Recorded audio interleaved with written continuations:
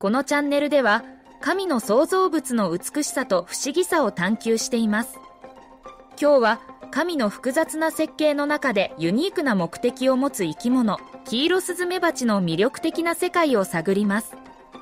この素晴らしい昆虫に秘められた知恵に触れ私たちが昆虫から学ぶべきことを発見しましょう。黄色と黒の縞模様が特徴的なキイロスズメバチはしばしば誤解され刺されることで恐れられています。しかしこの昆虫は生態系のバランスを保つために重要な役割を担っています。神がそれぞれの生き物に目的を持たせて設計したようにキイロスズメバチは自然の害虫駆除剤として他の昆虫の個体数を抑制するのに役立っているのです。震源には生きとし生けるものの価値を思い起こさせる知恵が書かれています。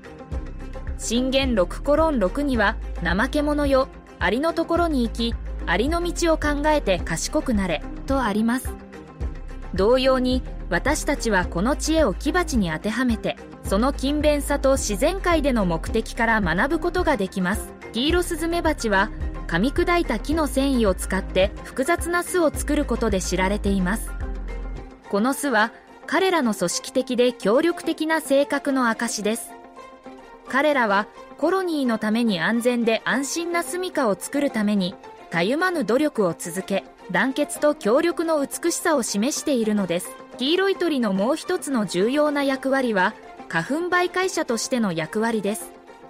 蜜を求めて花から花へと移動する際に知らず知らずのうちに花粉を飛ばし様々な植物の受精と繁殖を助けているのです。このように小さな生き物でさえも壮大な生命のタペストリーの中で役割を担っているという。神の驚くべき設計に気づかされます。では私たちは黄色い鳥から何を学ぶことができるのでしょうか。まず自然界におけるバランスの重要性を理解しましょう。キイロスズメバチが昆虫の数をコントロールするように私たちは環境の良き管理者として神の創造物の調和を保つよう求められているのです。さらにキイロスズメバチは団結と協力の力についても教えてくれています。昆虫が共通の目的のために協力するようにキリストに従う私たちも愛と一致のうちに協力し互いに支え合いより大きな目的のために働くよう求められているのです。ローマ人への手紙12章4節から5節を見ると私たち一人一人が一つの体を持ち多くの部材を持っていますがこれらの部材が全て同じ働きをするわけではないのと同じようにキリストにあっては私たちは多数ではあっても一つの体を形成しそれぞれの部材は他の全ての部材に属していますと書かれています。不利の探求を終えるにあたり神の創造物全てを畏敬と感謝の念を持ってみることを忘れないようにしましょう。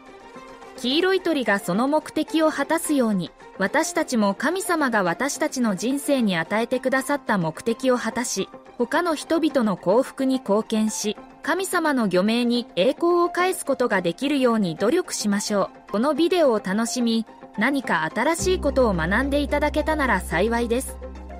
神の創造の美しさと素晴らしさについてもっと知りたい方はいいね。シェア購読をお忘れなく。また黄色い鳥からどのような教訓を得ることができるかどの動物について話してほしいか以下にコメントをお願いしますご覧いただきありがとうございました。